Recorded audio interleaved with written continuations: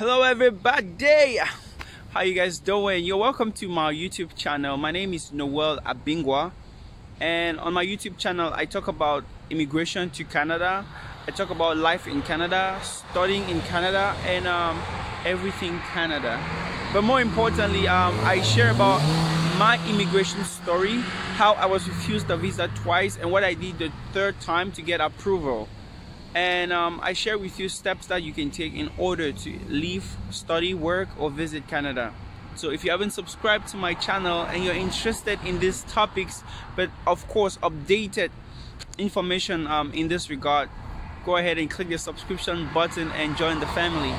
And if you're watching me again and again and again, I love you very, very much.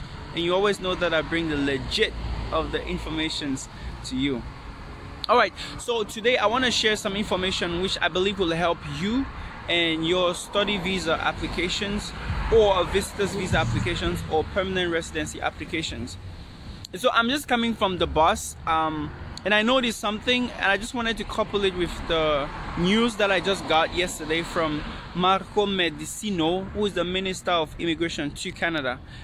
So i just came from the bus and i noticed that there was no such thing as social distancing right so um, everybody just sitting um, close to each other not really considering what's going on.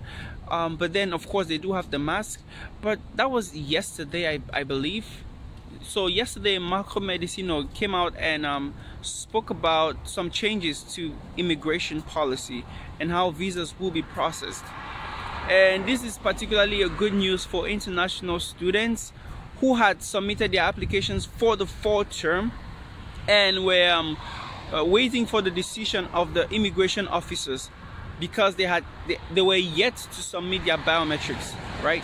So there's some new changes to that based on the current system that will be used to process um, visas. And so what the minister was simply saying is that he's implementing a two-phase or two-step um, validation process for visas especially for student visas. He is saying that now they're going to be using something called a two-step verification not verification validation yeah two-step approval process to grant students a visa. So the first step will be eligibility. And he mentioned um, that you have a valid acceptance letter from a designated learning institution that's the first one. And then the second one is you have the proof of funds and then you have demonstrated the other eligibilities whatever that is right? Then you will be granted um, a temporary acceptance to study online. And once you uh, have started studying online if you study for a maximum of 50% of your course online and then when Canada eventually opens and you, you submit your biometrics your um, health was that medical exams and then your police certificate. So you do not have any criminal convictions then you will get the full acceptance at that time. And so it is only valid for people who applied before 15th of September. And this is where I want to talk to you about what the opportunity right here is. You see he's going to start the first um, acceptance. He only spoke about three things. He spoke about um, that's the designated learning institution letter of acceptance the proof of funds and then they just generalize every other thing as general eligibility.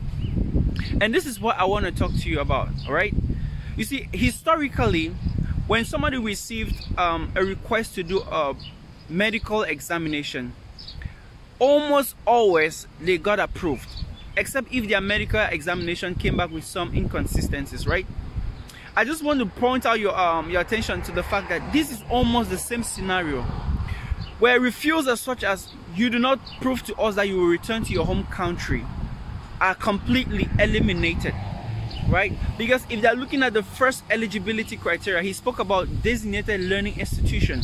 The second one proof of funds. And so if you if you have um, paid your tuition fee, for example, I don't see them saying to you that you won't return to your home country when you will be studying online. And then the second phase of the approval, all that they ask you is to submit what? Your biometrics, your medicals, and then your um, police certificate to show that you don't have any convictions. And in my opinion, if you pass the first stage which is usually the toughest stage into submitting biometrics medicals and police certificates you're almost guaranteed for a visa and so i encourage people i've always been saying that now is one of the best times to apply to come to study in canada and i do not think that the winter sessions will be online because I'm telling you, Canada is opening up. They just recently announced the, I think the third phase, particularly Ontario, the third phase of the opening strategy that they're using now. Uh, malls are open, um, restaurants are open, and many more facilities. Even the buses that were free before, now people pay, and then they are clustered together in the bus. Just to tell you that I think the fear of, of the COVID-19 stuff is get, gradually um, uh, getting away, and people are realizing, yes, that we got to get back to business as usual and again i'm encouraging you if you had filed in your application um, earlier this year i've always been saying that it's one of the best times because especially the proof to return to your home country or ties to home country i don't think they will be that strict on it this year coupled to the fact that I think there are fewer applications because people are thinking like is it the best time to apply? Is it not the best time to apply? When is the best time to apply?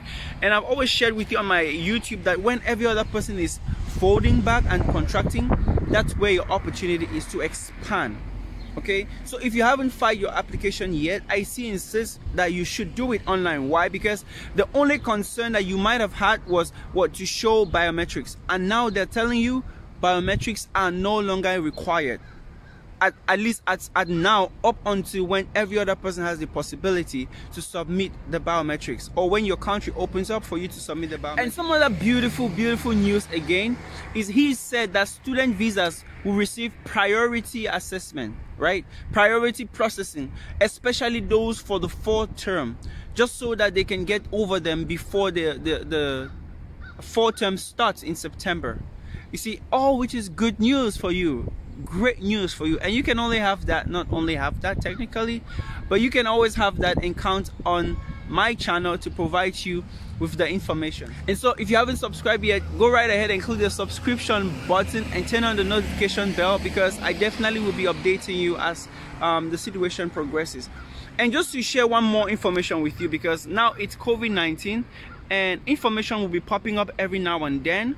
So you should always know that you should be ready to evolve with the information and take advantage of that information all right? And so some of the information that i do share with you i always tell you that i'm not an immigration agent. I'm not an immigration consultant but i do have tremendous experience to share with you. And i will always do my best to share with you what i know what happened to me just so that it doesn't happen to you refusal is not something that anybody should want to bear or invest a lot of money and um, have it go to waste all right? And so um, keep investing in yourself get the information and worry about how you will get to Canada. Do not worry about whether you will pay your tuition how you pay your tuition where the money will come from. I'm telling you if you can get to Canada and get by for the first month every other thing will take care of itself. And if you want to understand why I say that go watch my other videos and I'm very very convinced that it will encourage you and give you hope all right? So keep watching and keep rising. Subscribe to this channel and I'll see you in the next video. Sayonara